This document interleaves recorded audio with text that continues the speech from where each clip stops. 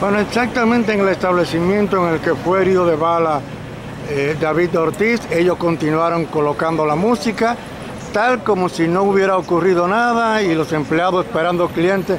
Y fue necesario que la policía le mandara a bajar la música. Esto es República Dominicana, donde David Ortiz ha sido herido de bala, continuaban poniendo música como si no hubiera ocurrido nada, absolutamente nada. Parece como que estuvieran acostumbrados a eso y ha sido necesario entonces que la policía que está aquí le ordenara apagar la música para que ellos pudieran hacerlo. Esto es República Dominicana, esto es el ensanche Osama y esto ha ocurrido en Donde David Ortiz acaba de ser herido.